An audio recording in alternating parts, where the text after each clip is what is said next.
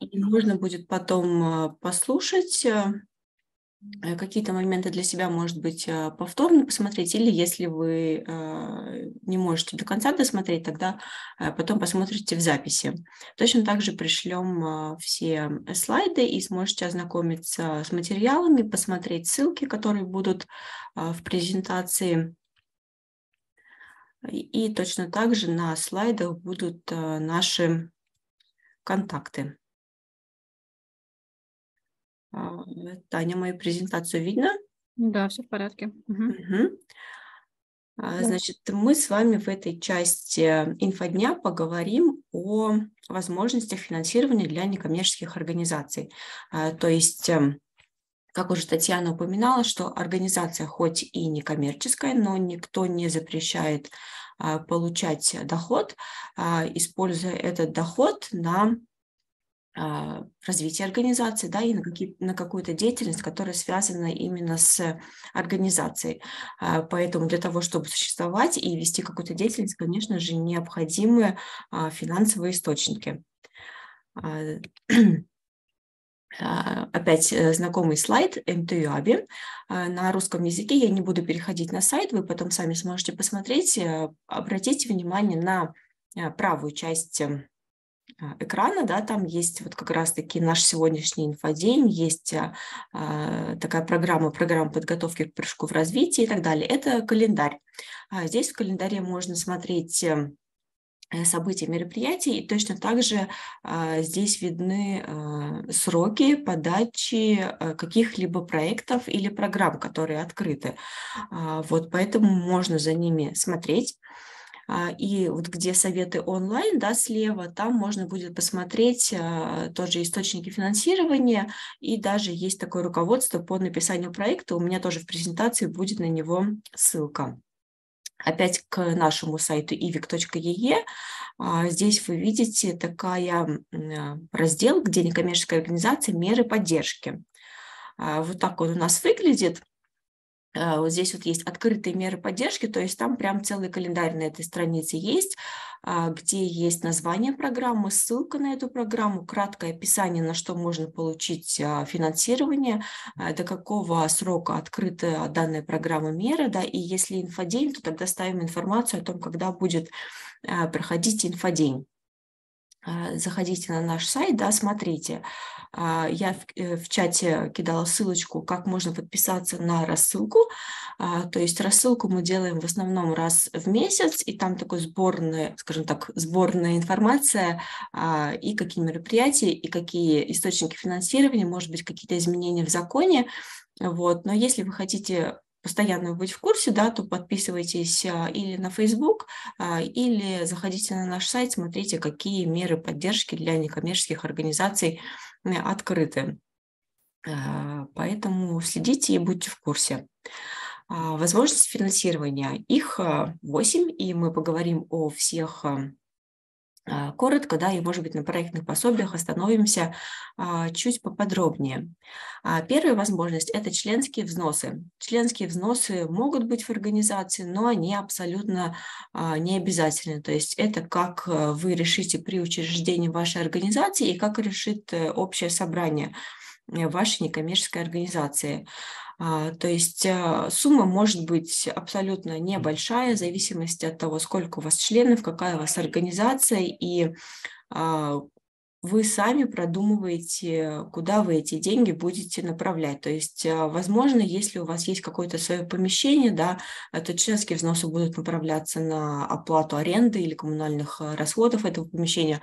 А может быть, там и оплата телефона и интернета члена правления. Опять-таки, если вы ведете активно какую-то деятельность, да, то есть расходы, которые возникают при этой деятельности, а, и поэтому необходимо их как-то покрывать. Член правления ни в коем случае не должен это делать а, за свой счет, то есть нужно искать какие-то возможности. И есть какие-то расходы, опять-таки, ну, повторюсь, коммунальные расходы, да, там э, расходы на канцелярию и так далее, которые будет сложно так, на которые сложно получить поддержку из проектов, а, поэтому членские взносы здесь э, очень бы пригодились. А, но подумайте, обсудите с вашими, скажем так, членами да, или членами правления, какую сумму члены вашей организации смогут потянуть, то есть чтобы это не было для них какой-то большой и ну, большой финансовой нагрузкой. Следующее источник дохода для некоммерческой организации – это спонсорство.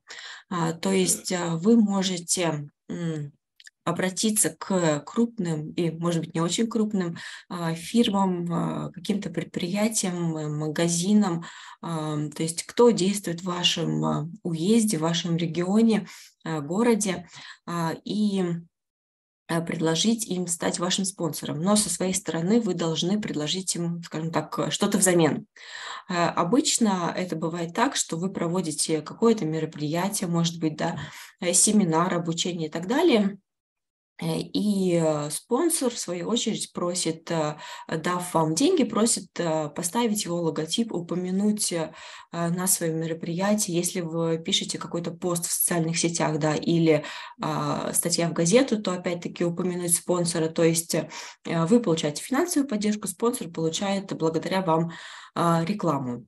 Не всегда спонсорство – это финансовая поддержка, когда-то это могут быть и какие-то предметы, то есть, допустим, вам нужны Э, для обучения а, маркеры, бумага и так далее, и вам какой-то магазин а, техники э, или э, канцелярских товаров может а, дать эти товары услуги. Да?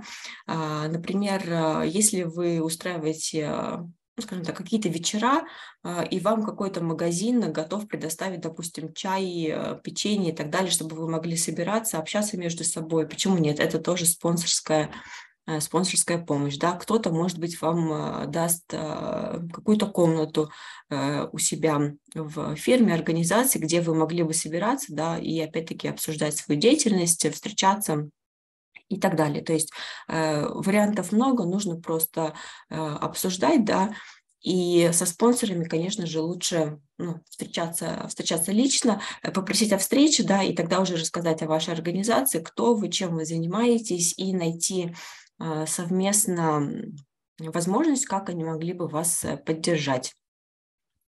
А дальше такой вариант, как пожертвование. А, то есть это могут быть как и финансы, а, а может быть как э, и не финансовая помощь. Допустим, кто-то может вам пожертвовать э, свое свободное время, а, помочь вам э, в вашей организации, ну, там условно, да, может быть, будет приходить и помогать вам убираться после каких-то мероприятий, да, или наоборот пожертвовать или предложить помощь и поделиться своими знаниями и опытом, может быть, провести какую-то а, лекцию, семинар э, какой-то, рассказать о каких-то э, возможностях. В отличие от спонсорства, пожертвования не несут э, никаких обязательств, то есть у вас нет обязательств перед тем, кто вам помогает, вы не должны его как-то рекламировать, выставлять его логотип и, и, и так далее. То есть вы уже на добровольной основе можете это делать. То есть если вы хотите поблагодарить потом этого человека или организацию, вы о нем обязательно напишите э, и поблагодарите за его помощь. А, вот видите, синим здесь выделена ссылка такая, список освобожденных от налогообложения некоммерческих организаций. А, фондов и религиозных объединений. А, это тоже такая отдельно большая тема, да, и я в чат кидала информацию о семинаре по налогам, то есть, э, чтобы не платить налоги с пожертвований, нужно вступить или добавиться вот в этот а, список некоммерческих организаций, э, вот, и как это сделать, и как туда можно ходатайствовать, это можно будет услышать на инфодне, да, или можно тогда обратиться к нам за помощью, на консультации мы расскажем Э, как это сделать. Но для того, чтобы попасть в этот список, то организация должна а, работать э, не меньше 6 месяцев и должен быть предоставлен годовой отчет, то есть это обязательное требование. И в Эстонии есть э, такой день, возможно, вы уже о нем слышали, это называется День хороших дел или толока по сбору пожертвований. В этом году это будет проходить 28 ноября. А, по ссылке можно посмотреть этот сайт, он есть на русском языке. Э, и в этот день все организации, которые присоединились к этой э, акции, они э, занесены на одну карту, да, и все, кто хотят пожертвовать эм, а, деньги, они могут оказать помощь организациям, то есть любая организация может зайти, посмотреть эту интерактивную карту, посмотреть, чем организация занимается, Вот. И точно так же в этот день можно устроить какое-то мероприятие, будь то день открытых дверей, будь то какая-то ярмарка или что-то, да, и точно так же собирать пожертвования. То есть для того, чтобы собирать пожертвования, да, э, вот, например, кто из Идофирма у нас здесь, э, да, есть, э, у нас есть в Нарве торговый центр Астр и Фама, у них есть возможность ставить так называемый ящик пожертвований, он у них стоит, по-моему, с ноября или декабря, и каждый месяц они меняют организацию, для которой они собирают пожертвования. То есть организация может найти а, для чего им а, нужны эти пожертвования, да, и объявляется такая акция, где, в которой может поучаствовать каждый посетитель этого торгового центра. И когда вы будете, допустим, делать какой-то призыв а, или у себя, может быть, через сайт, да, или при помощи каких-то партнеров, то подумайте, чем ваше объединение, ваша организация отличается, почему люди должны помогать вам. И вот здесь есть такое «сделайте пожертвование легким». Это в том плане, чтобы счет вашей организации э, был доступен. То есть если у вас есть сайт, да, то чтобы это было доступно на сайте. А если это ящик пожертвований, да, то чтобы было понятно, что это пожертвование идет именно в Э, вашу организацию. А если вы проводите какие-то а, мероприятия, э, то этот ящик может стоять у вас на мероприятии, да, но опять-таки вот здесь а, важно ознакомиться с так называемой памяткой, как этот ящик устанавливать, как потом эти средства использовать, э, как их, скажем так, со стороны бухгалтерии учитывать, то есть это тоже необходимо посмотреть, продумать.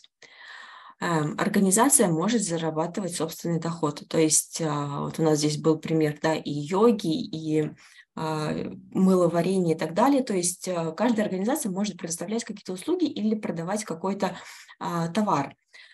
Обязательно важно подумать и продумать с членами правления, сколько будет стоить ваша услуга или товар. То есть это хоть и не коммерческая организация, да, но вы должны продумать бизнес-модель и составить финансовые прогнозы и а, своего рода бизнес-план. Он, конечно, будет, может быть, не такой сложный, как у коммерческой организации, но все равно вы должны подумать, э, сколько вы хотите заработать, а, сделать анализ эм, конкурентов. Есть ли кто-то вокруг, кто предоставляет подобные а, услуги, сколько у них это стоит, если вы примерно представляете, кто ваши потенциальные клиенты, да, а, может быть, э, с ними пообщаться и узнать э, у них, сколько они готовы платить за товар или услугу, и тогда уже назначать э, стоимость вашей товара или услуги. Очень важно себя оценить правильно а, и, скажем так, не недооценивать. То есть а, не нужно занижать, чувствовать себя как-то, что вот я не коммерческая организация, я не могу брать Э, много денег, то есть оцените себя адекватно и так, чтобы вы покрывали свои расходы, которые у вас э, идут на э, товар или на изготовление, изготовление товара, да, или на предоставление услуги. То есть оценивайте себя адекватно. А, учитывайте, какие ресурсы вам потребуются для того, чтобы изготовить товар э, или услугу. То есть, если у вас кто-то будет предоставлять эту услугу от имени вашей организации, сколько этот человек хочет получать заработную плату, э, сколько вам потребуется э, заплатить налогов. А, то есть э, все такие нюансы необходимо продумать. И если вы вдруг скажем так, в затруднении, Э, и не можете сделать это самостоятельно, то можно а, продумать это вместе с консультантами, да, то есть а, прийти или записаться к нам на консультацию, и мы вместе подумаем, а, сколько вам запросить, э, допустим, за вашу услугу. Опять-таки, если вы в регионе, э, может быть, не так давно, да, и консультант со своей стороны знает регион и организации, которые работают Э, в этом регионе лучше, да, то почему бы и не спросить эм, а, совета. А, есть в Эстонии такое понятие, как социальное предпринимательство. То есть откуда оно возникло? Эм, очень часто все социальные вопросы, они ложатся на плечи местного самоуправления, государства, коммерческие предприятия этим а, не занимаются, потому что это для них э, невыгодно, а некоммерческие организации как раз-таки могут решать какие-то социальные проблемы, которые есть в самоуправлении. И очень часто местное самоуправление тоже на себя не берет такие обязательства, потому что это занимает очень много времени, у них не хватает компетенций, не хватает работников, и они ищут так называемого а, партнера. Э, и в этом случае может на помощь прийти некоммерческая э, организация, то есть а, те, кому близко, скажем так, э, близки социальные какие-то проблемы или кто близок к социальной сфере, а, можно узнать об этом побольше. А, и почему бы не обратиться в местное самоуправление, где вы, э, скажем так, живете, а, в социальный отдел, в социальный департамент и узнать, какие услуги им бы э, понадобились были бы необходимы. Например, а, я нахожусь э, как консультант в ИХВе, да, э, и мне недавно буквально звонили из Ихвского волосного управления, спрашивали, что есть ли некоммерческие организации, которые оказывают сферы в социальные услуги, и им были необходимы люди, которые э, оказывают уход на дому за пожилыми людьми. Вот. То есть искали такие организации. И у каждого местного самоуправления есть а, определенный порядок, это будет тоже на следующих а, слайдах, а, как они эту услугу могут, скажем так, у вас купить. Обычно они объявляют конкурс, и вам необходимо подавать эм, документы. Это почти как проект, да, только это называется государственная поставка, да, государственная, пусть вас это не пугает, хоть это будет на местном уровне, да, но называется это у нас государственная поставка. То есть нужно ознакомиться с условиями, а, подумать, сможете ли вы заполнить данные документы или вам нужна помощь. А, но прежде всего важно найти ту нишу, в которой мы, вы могли бы а, свои услуги предлагать. И вот опять-таки оказывание общественных услуг. То есть общественная услуга – это услуга, которую предоставляет или местное самоуправление, или государство. Но, как уже сказала, часто не хватает сил, времени, возможностей работников – не хватает, а, может быть, средств, то есть да, всегда, а, скажем так, дороже содержать э, у себя на балансе для местного самоуправления какую-то организацию, проще а, и дешевле закупить услугу. Э, очень часто это связано со сферой культуры, а, спорта, э, работа с молодежью, детьми. То есть все, что касается образования по интересам, каких-то мастер-классов, а, занятия там а, спортом, танцами, тренировки. Вот это все может быть общественной услугой, да, и почему бы не предлагать такие услуги на местном уровне. Но нужно изучить рынок, да, а, и свое местное самоуправление, что если у вас какая-то уникальная услуга, да, или, может быть, а, вы можете не создавать свою некоммерческую организацию, а как-то присоединиться уже к действующей организации. То есть здесь нужно а, смотреть. И вот э, последний да, здесь пункт, что самоуправление не видит достаточного количества способных некоммерческих организаций для работы, Э, а некоммерческие организации говорят, что у них нет информации о возможности партнерства, как сотрудничать с местным самоуправлением, городом или волостью. А, то есть здесь э, нужно налаживать контакты, да, общайтесь с местным самоуправлением, узнавайте, кто отвечает за конкретную сферу, а, и узнавайте, как вы могли бы быть полезны со своей организацией, да, если опять-таки это как-то связано с местным самоуправлением, социальной сферой, культурой, спортом, образованием и так далее. А, пособие на деятельность. Пособие на деятельность выделяется или государством, или местным самоуправлением. А, что касается государства, у меня будут там позже ссылки на сайты, где это можно будет смотреть. Что касается местного самоуправления, то на сайте каждого города, каждой волости такой порядок э, есть. То есть э, есть порядок поддержки некоммерческих организаций. А если вы работаете в сфере культуры или социальной сфере, э, то есть отдельно порядки обычно на культуру, молодежную работу и отдельно на социальную сферу. Э, нужно зайти на страницу самоуправления и посмотреть, э, что поддерживается, как поддерживается, сколько раз в год можно подавать ходатайство. Где-то это происходит поквартально, где-то раз в полгода, где-то раз в год, и какие условия То есть очень часто, как и в пособии на деятельность, точно так же и в проектной деятельности, о чем мы будем говорить позже, а, смотрят на то, когда зарегистрирована организация. То есть есть и фонды, и, возможно, есть самоуправление. Я сейчас не буду за все самоуправления говорить, а, где важно, чтобы организация уже была зарегистрирована и работала как минимум год. А, есть те, кто готовы поддержать организацию и сразу же, то есть организация зарегистрировалась, начала свою деятельность и, в принципе, уже может ходатайствовать на какое-то э, пособие. Нужно тщательно изучать порядки да, и смотреть вот именно на этот э, пункт, что попадаете ли вы э, под условия или не попадаете. И всегда внимательно читайте вот эти вот порядки, на основе которых а, город, волость а, поддерживает деятельность некоммерческих организаций.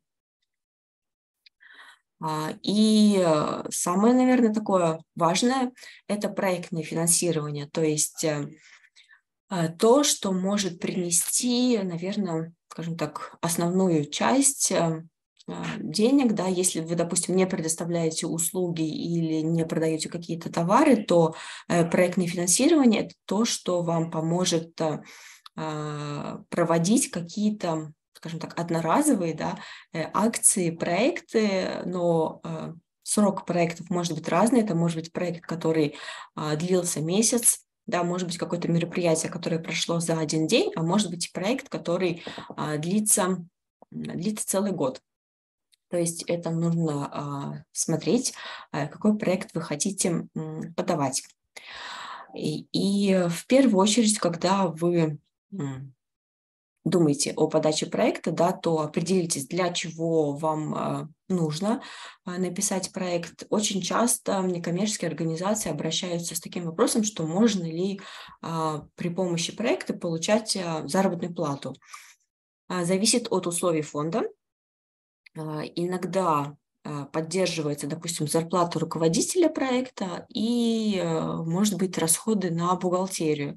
Э, но это не всегда. То есть эм, скажем так, есть крупные организации, которые из проектных денег получают а, заработную плату, а, но чаще всего, да, и особенно на начальном этапе, когда вы начнете писать проекты и подавать ходатайство, да, рассчитывайте на то, что проектное финансирование пойдет именно на какую-то деятельность а, одноразовую, да, вот.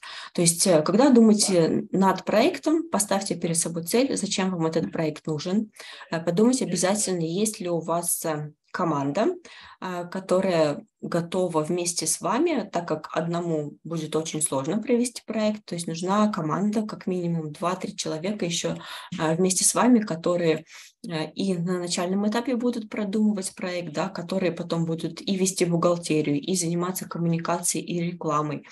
А, кто будет, э, может быть, э, на месте вам помогать, то есть там буквально, не знаю, регистрировать на месте, да, там подготавливать помещение. То есть все такие нюансы нужно продумывать и э, не рассчитывайте только на свои силы. Подумайте, какие результаты вы хотите получить, как повлияет на людей, которых вы хотите привлечь к проекту, а, устойчивость, да, и жизнеспособность. То есть очень часто в проектах спрашиваются, что будет после того, как ваш проект закончится, то есть какое у него будет влияние а, после того, как вы его проведете. Это очень важно, чтобы а, то дело, которое вы при помощи вашего проекта начнете, продолжило в какой-то мере оказывать влияние или существовать даже после э, проекта. И когда вы задумываетесь о проекте, то убедитесь, что у вас а, есть ресурсы. А, почему ресурс, да, то есть это не только те деньги, которые получите при помощи проекта, да, но и очень часто требуется самофинансирование. Где-то это может быть 5% от той суммы, которую вы хотите получить. А в основном это 10-15% от суммы вашего проекта. То есть они у вас должны быть. Э, поэтому рассчитывайте на это. Опять-таки люди, да, и время. То есть а, если у вас а, есть основная работа, есть какая-то работа э, повседневная в вашей некоммерческой организации, плюсом, да, плюс какие-то а, домашние э, дела, семья и так далее, что готовы ли вы еще плюс к этому заниматься проектом, хватит ли у вас на это сил, времени и опять-таки, почему важна команда, да, что вы как руководитель проекта а, должны уметь делегировать, не тянуть все в одиночку, а уметь распределить а, роли между членами а, команды, да, и э, как руководитель, скажем так, координировать их а, деятельность. А, вот последний пункт – это руководство по составлению проектной а, заявки на русском языке. А, то есть там можно посмотреть, как составлять проект, из каких частей он состоит. Это, скажем так, такое довольно универсальное руководство, но у каждого фонда есть свои требования, поэтому очень важно всегда читать их условия и как мы можем со своей стороны, как консультанты, помочь. То есть э, э, можно, вы увидели какой-то проектный конкурс, да, можно нам написать, позвонить, что вот у меня есть идея, подходит ли она под э, этот конкурс. Если у вас просто есть идея, но нет фонда, да, то можно тоже написать, что вот такая идея, куда вы посоветуете э, ходатайство отправить. И плюс, э, как начинающий, да, э, человек, который пишет проекты, а, опять-таки можно обратиться, а, мы подскажем, а, что за форма, что в конкретном пункте нужно писать. Если вы уже написали проект, то мы можем его прочитать и дать э, оценку и как-то прокомментировать, дополнить, добавить, что где-то где может быть исправить. А, то есть э, вообще в любом случае, если вы пишете проект, и там точно так же и бизнес-план, и любой документ, который вы пишете, лучше дать прочитать человеку со стороны. Э, вот если кто-то будет на а, кассу по безработице подавать бизнес-план, да, то тоже обязательно дайте кому-то его прочитать, потому что вы понимаете все, что вы там пишете, э, вы знаете каждый пункт, вам кажется все понятно. Вы дадите прочитать другому человеку, он может понять, вообще ничего не поймет. То есть всегда нужен сторонний взгляд, и а, консультанты вам в этом помогут. Точно так же, если вы пишете а, бизнес-план для кассы по безработице, да, то можно обратиться к консультантам по предпринимательству. Они вам помогут в э, составлении бизнес-плана. Но подчеркну, что мы не пишем проекты за вас. То есть э, проекты вы пишете сами, мы вам только оказываем помощь и поддержку, консультируем, помогаем и точно так же мы а, не переводим, потому что бывает, приходит проект на русском, да, подавать нужно его всегда, конечно, на эстонском. Есть фонды, которые принимают на английском. А, мы переводом не занимаемся, то есть тот же самый Google Translate, да, как уже Людмила говорила, а, вы можете перевести при помощи Google Translate, и мы можем немножко его подкорректировать, но переводить а, с нуля это будет слишком скажем так, затратно, да, и это не является нашей основной а, деятельностью. Э, проектное финансирование, да, а, дальше будут еще слайды, где поподробнее будет по программе. То есть у нас есть местные, государственные, есть европейские а, программы. А, каждая программа имеет свои условия, критерии оценки, и которые меняются. То есть, например, вам кто-то посоветовал обратиться в такой-то фонд, рассказал свой опыт, как он подавал, как он писал ходатайство, может быть, даже э, прислал свое ходатайство прошлогоднее э, для образца это не значит, что в этом году все будет точно так же. Меняются и условия, меняется и форма подачи. Если год назад можно было еще отправить ходатайство на e-mail, то сегодня уже подается а, через э, систему. А, критерии оценки могут меняться. То есть в прошлом году было такое направление важно, в этом году уже другой. То есть всегда важно почитать, вникнуть, понять. Если э, не справляетесь, приходите на консультацию, да, мы подскажем, э, потому что все эти документы на эстонском, может быть, что-то будет непонятно и а, сложно. Вот еще раз, а, довольно часто встречается требование некоммерческая организация должна существовать год, э, но не обязательно. Э, есть фонды и программы, как, например, программа поддержки местной инициативы, она в каждом уезде два раза в год, э, там такого требования нет. То есть вы можете а, сейчас зарегистрироваться и в марте, когда будет эта программа открыта, э, уже сможете подать ходатайство. А также отмечу, что нет такого универсального фонда, который поддерживает все идеи. Всегда нужно смотреть э, а, фонд, его условия и, возможно, как-то нужно подкорректировать вашу идею под условия э, фонда. Допустим, вы хотите провести какое-то мероприятие, а, и, ну, скажем так, культурное мероприятие, да, но а, фонд не поддерживает культуру в чистом виде. Э, они поддерживают, допустим, обучение. Тогда вы думаете, что, может быть, вы проведете какое-то неформальное обучение, и вот какой-то концерт, он станет как, допустим, завершающим этапом вашего, э, вашего проекта. То есть всегда читайте условия и думайте или сами, да, вместе со своей командой, или с консультантом, как вашу идею можно а, повернуть в сторону к проекту, чтобы его поддержали. А, и еще важно, что а, те, кто начинают писать проекты, не должны опускать руки, да, то есть вы подали один проект, его не поддержали. Такое бывает, такое часто случается. И в этой скажем так, вашей вины или вины консультанта, который вам помогал, нет. А просто у фонда ограниченное количество средств, они не могут поддержать всех. А, может быть, еще недостаточно знает вашу организацию, может быть, идея оказалась э, а, скажем так, ну, не настолько актуальной, или просто ваше ходатайство набрало чуть меньше а, баллов, да, и поэтому вас не поддержали. Это не значит, что нужно все бросать, да, и больше не писать проектов. То есть чем больше вы пишете, тем больше вы набираетесь опыта, э, каких-то знаний, и тем больше у вас, а, ну, скажем так, шансов получить эти деньги в следующий раз. А, и по возможности, если вы решили подавать куда-то ходатайство, участвуйте в инфодне. А, инфодни, конечно, часто проходят на эстонском, и наш центр, и Харима проводим инфодни ну, какие мы можем проводить на русском языке, то есть а, старайтесь участвовать, задавать э, вопросы или писать потом, а, если вам какие-то пункты непонятны.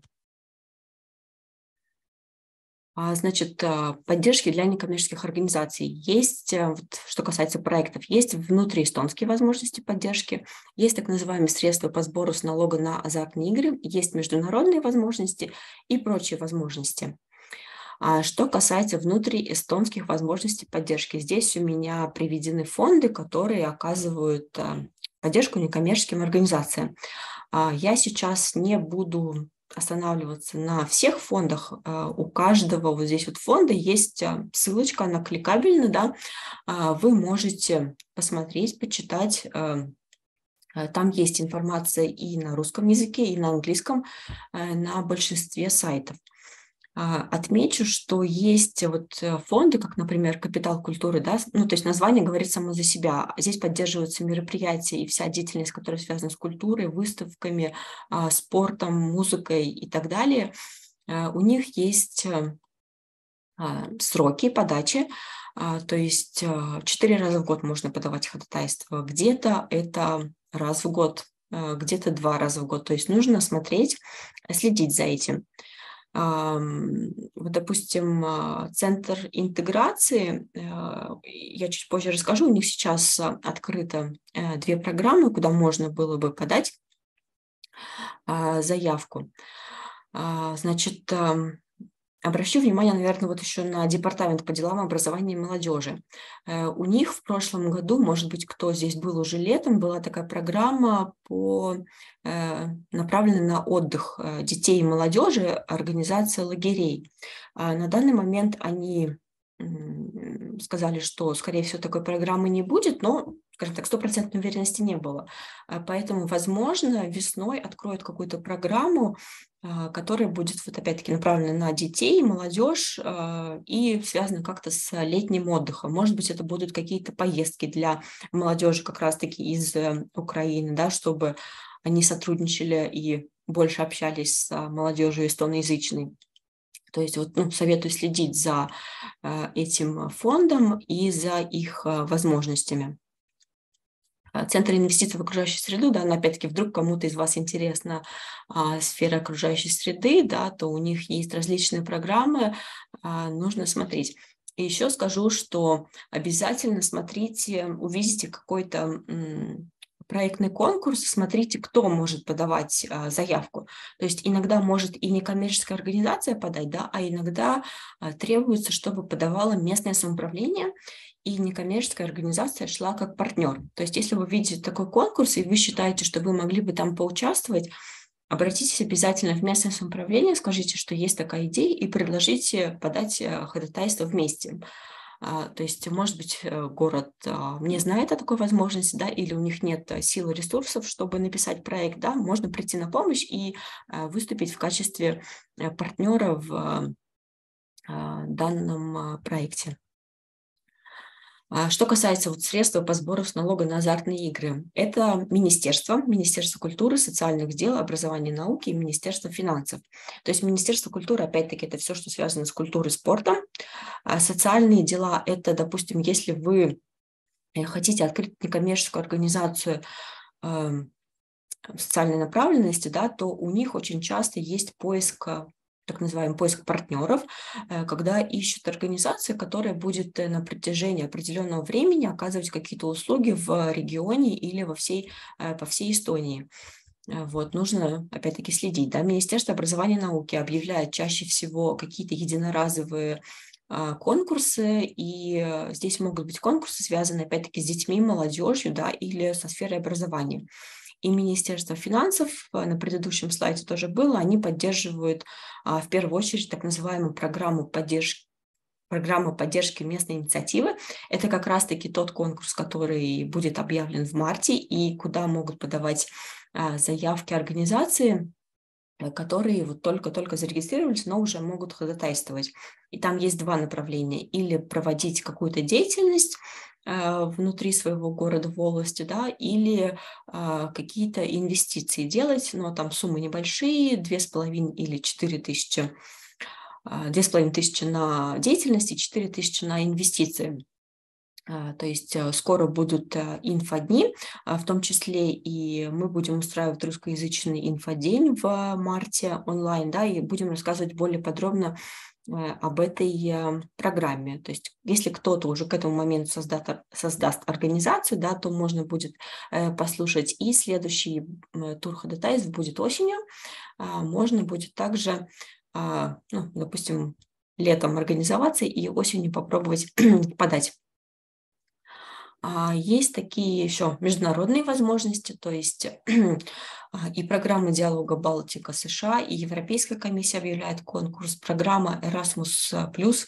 Это программа, которая а, работает с молодежью. В первую очередь, если кто-то, допустим, нацелен на деятельность с молодежью, на какие-то молодежные обмены, на волонтерскую деятельность, да, то вам сюда, скажем так. И в этой программе не всегда нужно быть зарегистрированным, то есть там и какая-то, скажем так, группа, группа людей, ну, в данном случае группа молодых людей до 30 лет а, смогут подавать эм, проекты, даже не будучи зарегистрированным.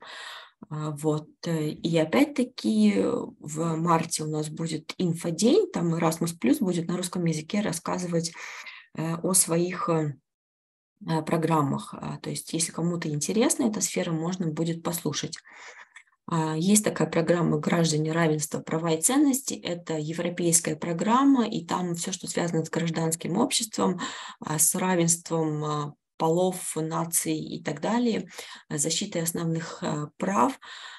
Там немножко сложно, наверное, форма ходатайства для начинающих, особенно организаций, но форма ходатайства там на английском, и там очень важно партнерство и с местным самоуправлением, и с, другим, а, с другими странами. То есть эм, здесь, скорее всего, ну, спустя какое-то время можно будет э, подавать ходатайство, если вы будете заинтересованы.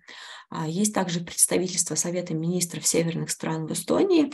Это организация, которая а, поддерживает проекты в области а, культуры, образования и поддерживает также скажем так, местное самоуправление, чтобы их ну, работники участвовали в программе по обмену опытом. А, вот, у них есть а, тоже сайт на русском языке, можно зайти, почитать, посмотреть. А, вот. А, и какие есть еще прочие возможности? Есть у нас такая в Эстонии платформа совместного финансирования, называется она Хуандия. А, ссылка активно, можно на нее зайти. И здесь поддерживаются какие-то инициативы. То есть если у вас есть какая-то идея, вы хотите провести какое-то мероприятие, вы можете на этой платформе опубликовать его, рассказать идею и указать, сколько денежных средств на это вам потребуется. Может быть, у вас э, необходимость сделать какое-то приобретение для вашей организации, да? Может быть, вы хотите обустроить э, помещение, где вы а, работаете, там, не знаю, купить какую-то мебель, да, может быть, сделать а, ремонт, да, то при помощи этой платформы а, вы можете сделать, скажем так, такой призыв, и э, платформа доступна для всех, то есть те, кто на нее заходит, они смогут какие-то там небольшие суммы, может быть, 5, 10, 15, 20 и так далее евро, да, вам э, пожертвовать на ваш э, проект, да, или поучаствовать в вашем проекте, скажем так, э, правильно. А, вот. Платформа довольно популярна. А, они также делятся вот всеми а, скажем так, проектами, которые у них опубликованы на своем Фейсбуке, э, то есть о вашей организации могут узнать через эту платформу. А вы сами можете делиться у себя на Фейсбуке или других социальных сетях, э, скажем так, э, этой, этим проектом, этой платформой. То есть а здесь такое идет именно совместное действие вашей организации, этой платформы, да, и людей, которые готовы вам помочь. А, вот. И такая программа а, в Эстонии есть, как «Жертвуем время». А, здесь можно найти через эту программу людей, которые как-то смогут вам помочь в деятельности вашей организации, может быть, каким-то советом, да, может быть, провести какое-то небольшое обучение, лекцию и так далее. Вот там есть перечень людей, которые а, готовы, скажем так, а, вам как-то помочь, да, или вы можете сделать запрос, что нам нужна такая-то а, помощь, или мы хотим в нашей организации, допустим, подробнее узнать о ну, какой-то теме, да, и можно найти людей, которые вам в этом помогут, проведут. Вам, ну, условно говоря, какой-то, может быть, мини-семинар. А, вот, где можно следить за источниками финансирования. То есть, а, как я уже показала, а, сайты да, центров развития и Идовирума, и Харима, а социальные сети, то есть подписаться на Facebook, допустим, Идовирумского центра предпринимательства и Хариумского центра предпринимательства, у них тоже есть русскоязычная страница, подписаться на новостные рассылки, сайты министерств и местных самоуправлений. Там тоже есть и возможность рассылки, или просто почаще туда а, заходить и знакомиться с а, новостями, которые там есть, и конкурсами, которые объявлены. Что касается местных самоуправлений, то в любом случае да, важно следить за тем, что происходит в самоуправлении, где вы живете, какие там, может быть, мероприятия происходят, где вы Э, может быть, готовы поучаствовать как организации или как-то как волонтеры, да, э, может быть, вам помогут в поиске партнеров, а, да, и, в принципе, будете в курсе жизни э, местном самоуправлении. А, вот. И еще три небольших программы, которые открыты на данный момент, и которые могут подать ходатайство уже зарегистрированные организации. Но почему я об этом говорю? А, возможно, у вас есть организация, которая вам а, помогала, когда вы приехали в Эстонию. Да? Может быть, есть какое-то украинское общество, сообщество в городе, где вы живете, да, и вот они могли бы подать заявку э, в одну из этих программ. Э, сроки программ сейчас вот а, в феврале будут, а, но, в принципе, там формы не настолько сложные, то есть если кто-то заинтересуется, они, в принципе, успеют э, а, подать эту заявку.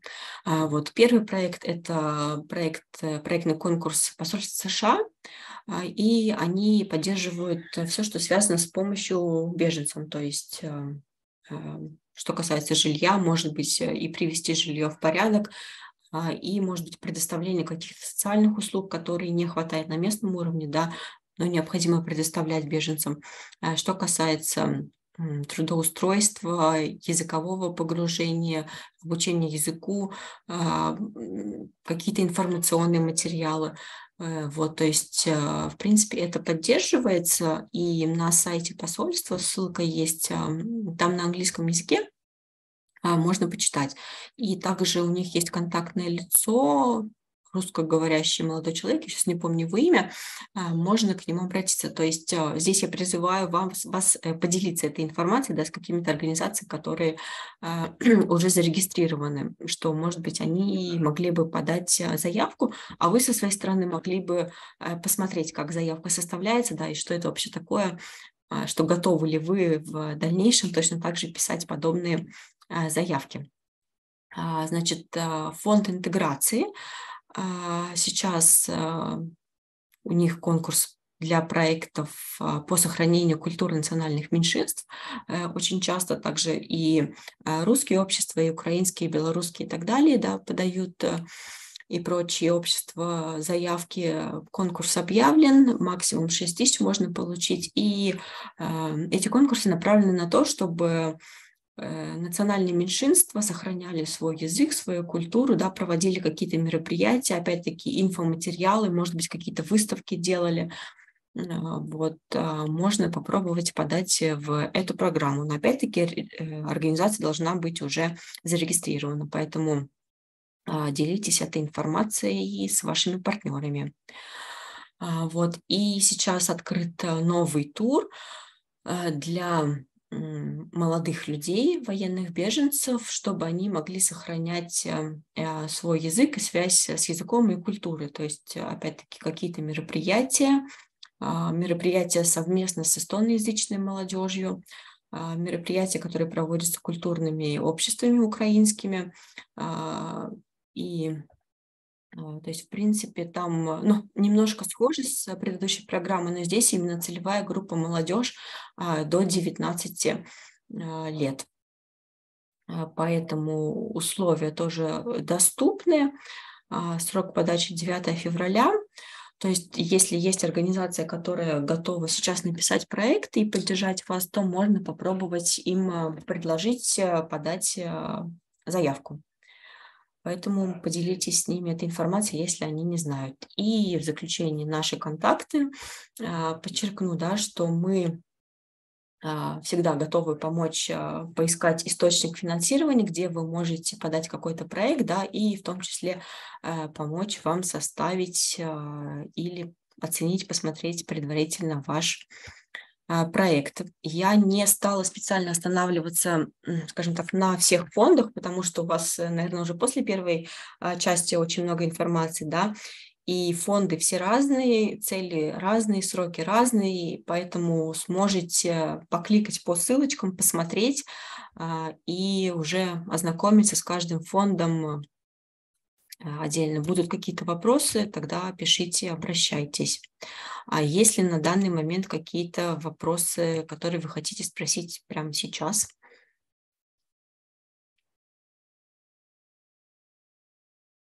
У меня есть вопрос, можно? Угу. Вот, то есть я только что услышала, что здесь вот можно э, для поддержки детей, то есть, может быть, мне попробовать на Сарема, то есть тут очень много украинских деток, плюс у меня двое своих, и ну, было бы здорово что-нибудь такое вот тоже подумать. А вы сегодня пришлете вот эти вот слайды? То, чтобы я посмотрела, может быть, я успею. Слайды я пришлю завтра утром. Я хочу одним письмом прислать э, видео и слайды. У меня займет немножко времени, чтобы видео загрузить. Завтра с утра у вас уже все будет. А сейчас нет возможности ссылку хотя бы в чат кинуть? А вы какой я... фонд хотели? Вот последний э, в поддержку украинских детей. А, детей. Угу, хорошо. Да, да. Единственное, что, что там э, требования... Тоже год надо. Э, да, что э, должна быть уже зарегистрирована, по-моему, организация. Ну, как бы, что год, по, по, по времени, да-да-да. сейчас уже это. Да, ну вы посмотрите, и я Да, посмотрю я хочу тоже. посмотреть, потому что идея очень хорошая, и, в принципе, она просто потом позволяет заняться ею. А здесь могут подавать также и местные самоуправления, другие организации. Опять-таки, если вы не сможете это сделать сами, то я думаю, что э, можно обратиться к кому-то за помощью, чтобы подать вместе. То есть, если вы вдруг uh-huh. подойдете по условиям, uh-huh. а, вот, то обязательно можно найти партнера. Ну, я не знаю, библи... библиотека. Я с библиотекой поговорю. Мгм, У нас там контакт с библиотекой есть, наверное, с ними попробую, наверное. И вот смотрите, да, Наладить. еще а, обращу внимание, что когда объявляется какой-то конкурс, да, а, то, ну, грубо говоря, что, там, не знаю, если вы занимаетесь музыкой, да, то ну, вы, может быть, не сможете подать проект, который направлен на защиту окружающей среды. А, То есть цели вашей да. организации да, должны совпадать с а, ну, идеями конкурса. То есть э, или ну, как-то устав должен быть составлен так, что у вас прямо такой широкий спектр деятельности, да, или все-таки и у вас должно быть в уставе написано, что чем вы э, занимаетесь. И, ну, допустим, вот что касается там, не знаю, ваш устав, да, сейчас, а, то есть Там ку- культура есть. ну, культура, да, вот что-то культуры, спорта, деятельность, деревня, опять-таки, ну, это то есть должно там быть. Мгм. Долж- Есть у нас такое. Да, то есть, э, Поэтому я и схватилась за эту идею, потому мгм. что... мы- А у них только вот 4 февраля, позже не будет. А, У них сейчас, э, сейчас 9 февраля стоит срок, э, и то есть как бы это первый раз объявили конкурс, э, возможно, то есть есть конкурсы у них, которые повторяются из года в год, есть конкурсы, которые единоразовые. Ну, сейчас не могу Мгм. сказать. Это тот, который первый раз только, Да, да? он объявлен первый Мгм. раз, и на сайте вот, э, э, целевого учреждения интеграции э, у них есть э, м, так называемый конкурсный план, там есть конкурсы на целый год, то есть что они будут объявлять в течение года. А Сейчас Мгм. еще не утвержден, обычно они где-то в феврале его публикуют, то есть можно будет зайти, посмотреть, и э, ну, там, может быть, уже можно будет, так сказать, готовиться как-то, да, то есть А, а будет эта ссылка тоже в слайдах?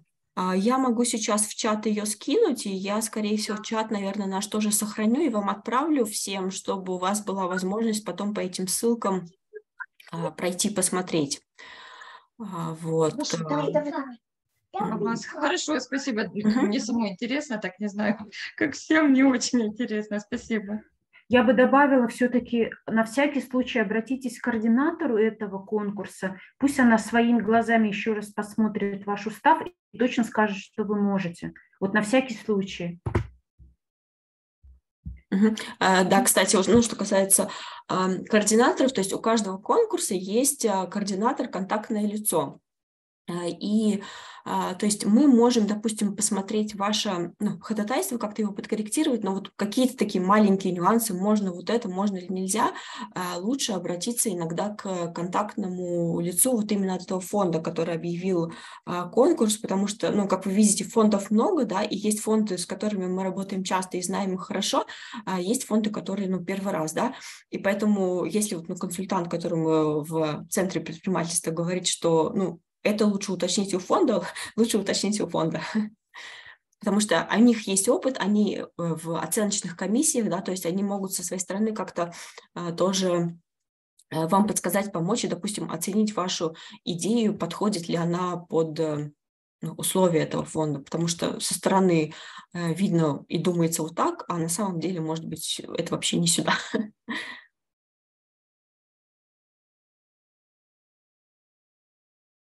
А есть еще какие-то вопросы?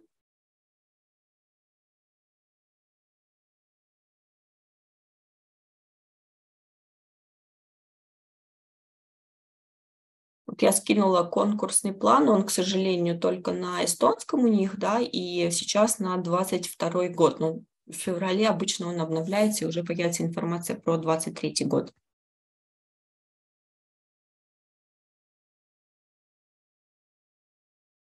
Тогда, наверное, все. Я заканчиваю.